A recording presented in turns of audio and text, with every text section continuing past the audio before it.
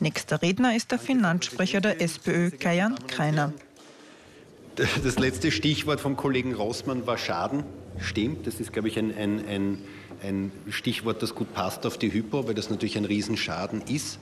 Und es war ähm, vor ziemlich genau fünf, sechs, also vor fünf Jahren, wie wir hier äh, debattiert haben, noch vor der Notverstaatlichung. Da war schon klar, dass es einen Riesenschaden geben wird für den Steuerzahler, ähm, dass man achten muss auch darauf, dass dieser Schaden möglichst klein gehalten wird. Hat eine Debatte hier stattgefunden. Ähm, und ich erinnere nur daran, dass die SPÖ hier gesagt hat von diesem Rednerpult, ähm, unabhängig davon, wie groß dieser Schaden wird, die SPÖ steht nicht zur Verfügung, dass wir diesen Schaden durch Massensteuern bezahlen, sondern wir werden schauen, dass dieser Schaden vom Bankensektor bezahlt wird.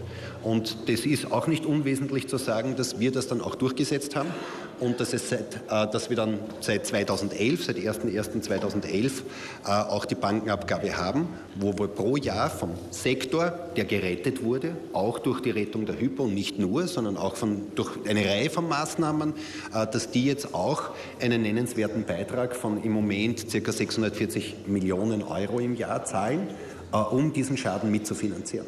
Ähm, und das halte ich auch ganz, ganz wichtig immer zu sagen, ähm, quasi, wie finanzieren wir überhaupt diesen Schaden? Dass wir jedenfalls darauf schauen, dass möglichst 100 Prozent oder möglichst ein großer Anteil auch von jenen bezahlt wird, äh, die durch die Rettung profitiert haben. Ähm, wo der Schaden entstanden ist, wer die Brandstifter waren, ist, glaube ich, in der Zwischenzeit fast allen klar hier in diesem Raum. Es gibt nur noch eine Fraktion, die, die der Meinung ist, sie waren es nicht, also die FPÖ. Aber das ist im Prinzip, glaube ich, in der Zwischenzeit klar, dass die politische Verantwortung, die Brandstiftung, die Brandstifter bei diesem Schaden äh, waren die Freiheitlichen in Kärnten. Ähm, dort ist der Schaden entstanden. Dann kamen die Löscharbeiten, die Rettungsarbeiten. Über die können wir gern diskutieren. Ähm, die Frage der Notverstaatlichung. Ähm, und ich bleibe bei dem Begriff Notverstaatlichung, weil es um also der, der, der, sogenannte Regierungskommissär oder Aufsichtskommissar der Finanzmarktaufsicht mit allen notwendigen Bescheiden war schon in der Bank und hat nur gewartet, bis es 8 Uhr wird, weil er dann quasi die Bank Anführungszeichen übernimmt, die Vorstufe zur Insolvenz. Das war die Situation dort. Es ist damals kein einziger, es ist, es ist in der Zeit keine einzige Bank in Europa fallen gelassen worden, keine einzige. Ähm, und die Bayern, ja, die hatten Geld am Tisch, die hatten ein Risiko von 6 Milliarden Euro am Tisch liegen. Ähm, und mit wie viel Geld sind sie denn aufgestanden und nach Hause gefahren? Von diesen 6 Milliarden, wie viel haben sie mitgenommen? Einen Euro. Einen Euro. Die 6 Milliarden oder die 5 Milliarden 999 Millionen 999.000 und 999 Euro sind ja am Tisch liegen geblieben. Davon sind dreieinhalb Milliarden endgültig für die Bayern sofort verlustig gegangen. Um zweieinhalb Milliarden wird noch gestritten vor Gericht. Da wird ein Richter entscheiden, ob sie das Geld bekommen oder nicht. Und weiteres Geld äh, ist auch vom Richter, nämlich jenes Geld, das die Bayern in den Monaten und Wochen davor aus der Bank rausgezogen haben. Das heißt, für die Bayern ist äh, die Notverstaatlichung nicht besser gewesen als ein Konkurs, jedenfalls aus heutiger Sicht nicht, weil das Risiko, was sie hatten, Reputationsverlust hatten sie keinen, das stimmt. Wobei den Reputationsverlust bei mir haben sie jedenfalls. Und bei vielen anderen auch, die, die einfach ordentlich auf die Sache schauen. Aber monetär sind sie mit einem Euro nach Hause gefahren. Und ein Richter entscheidet, wie viel Geld sie noch bekommen von dem. Genau dasselbe, es wäre halt ein Insolvenzrichter gewesen, jetzt ist er äh, äh ein, ein, ein, ein Zivilrichter. Also ein anderer Richter entscheidet.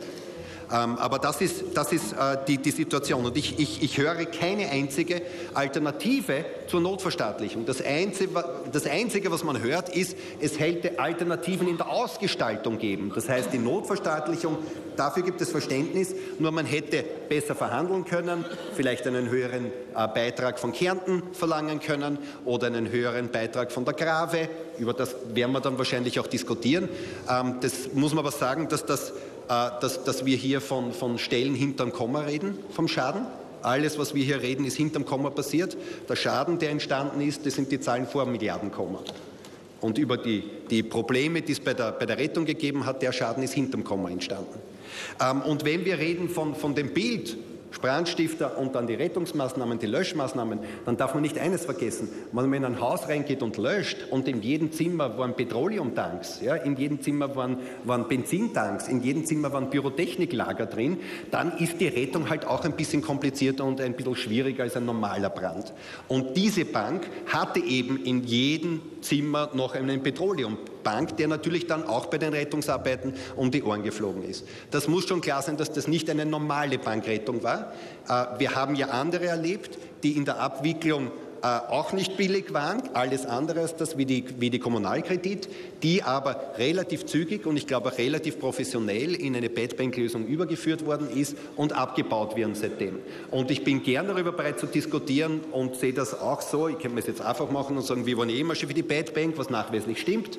Aber es, es, hat Argumente dafür und dagegen gegeben. Äh, es hat lange gedauert, äh, diese Entscheidung zu treffen. Ich hätte sie mir auch früher gewünscht. Ähm, und ich glaube, man hätte wahrscheinlich beim Abwickeln das noch professioneller machen können. Äh, und über das kann man dann gerne auch diskutieren im Detail. Aber entscheidend ist auch die Zukunft, weil es ist ja noch nicht fertig. Wichtig wird sein, wie wir dieses SEE-Netzwerk verkaufen können. Ähm, ich gehe davon aus, dass der neue Finanzminister hier, äh, sollte die Krise sich das im Nachhinein anschauen, sagt, na, das ist professionell abgegangen.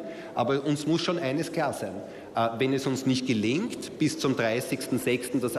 also diese zu verkaufen, dann müssen die auf Abwickeln gestellt werden. Und da sagen die Experten, das kostet noch einmal zwei Milliarden Euro. Das heißt, dies, das ist ein ganz ein wichtiger Auftrag, das zu machen. Noch zum Schluss darf ich sagen, äh, nachdem jetzt der Kollege Strache rauskommt, äh, dass er vielleicht kurz dazu Stellung nimmt und auch einmal auch klar sagt, dass diese Art von Politik nicht eine Politik ist, die zukunftsfähig ist. Sie haben hier den Jörg Haider, der 2007 gesagt hat, wir werden den Löwenanteil der Hypomillionen für die kommenden Generationen anlegen. Damit handeln wir im Sinne der jungen Menschen dieses Landes nachhaltig und zeigen Weitblick. Deswegen wird Kärnten reich. Ganz ehrlich, das muss klar sein, äh, Kärnten wurde nicht reich, Österreich wurde dadurch nicht reich. Es geht nicht um Millionen, die angelegt worden sind, es geht um Milliarden, die bezahlt werden müssen, auch von der kommenden Generation. Die Verantwortung dafür tragt in erster Linie die FPÖ. Und sagen Sie bitte auch dazu was. Dankeschön. Vor fünf Jahren sei schon klar gewesen, dass ein Riesenschaden für den Steuerzahler entstehe, sagt Kajan Kreiner, SPÖ-Finanzsprecher. Man müsse jetzt darauf achten, den Schaden für die Steuerzahler möglichst gering zu halten.